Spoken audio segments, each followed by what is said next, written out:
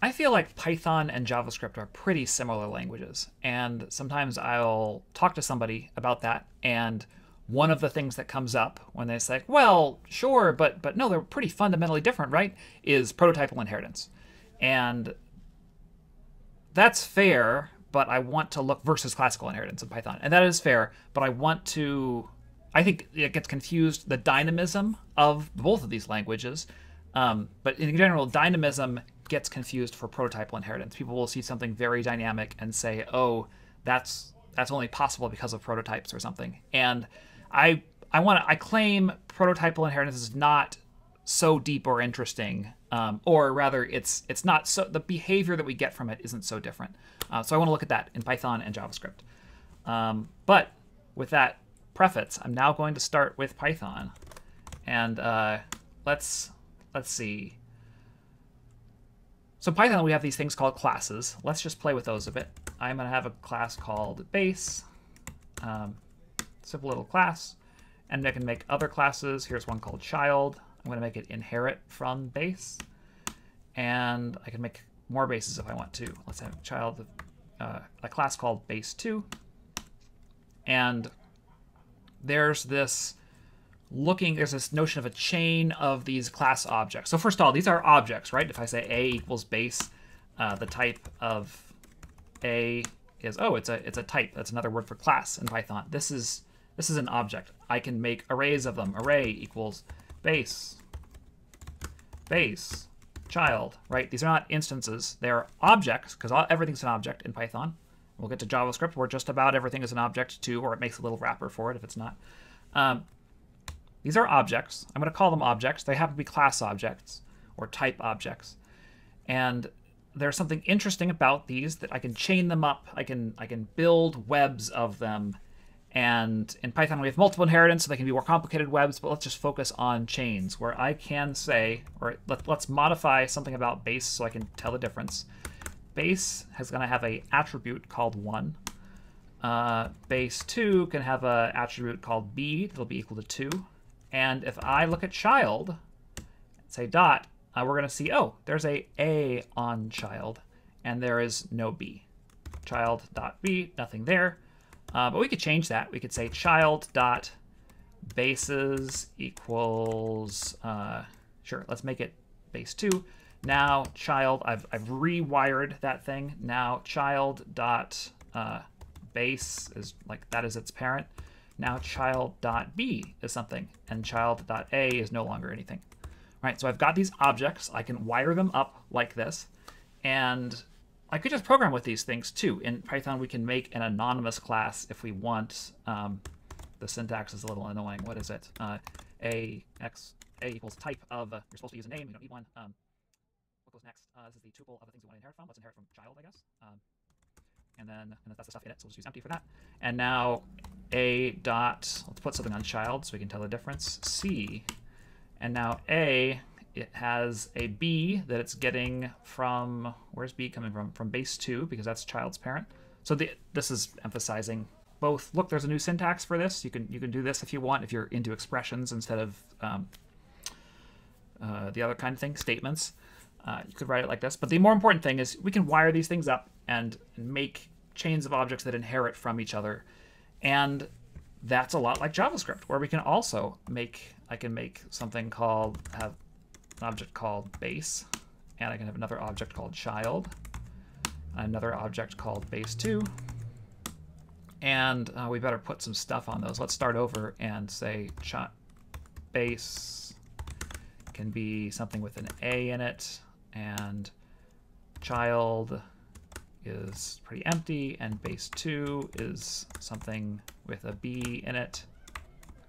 I could modify these two, it's just less lines to do it like this. Um, and if I want to wire them up, I say object dot set prototype of child to be base.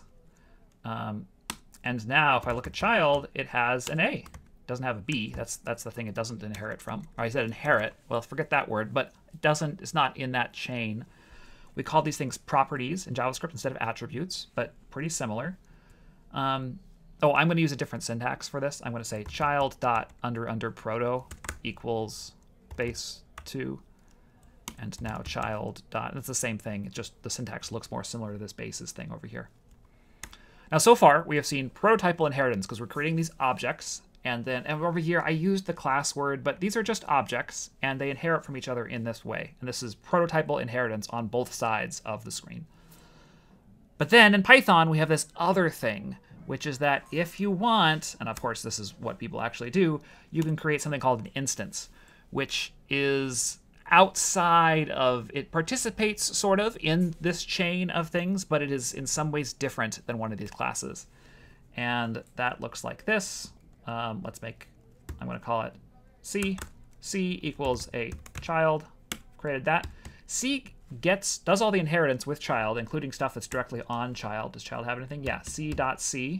Great, that was on child. C dot B, which it's getting from where Mm, I'm having trouble finding it. I think MR, what is it? M, MRO, is that going to give me, I, would have to put it on the class, child dot MRO. Um, gosh, what is it? Whatever. Um, but it's getting, it's going to be getting this B from somewhere else, I guess from base 2.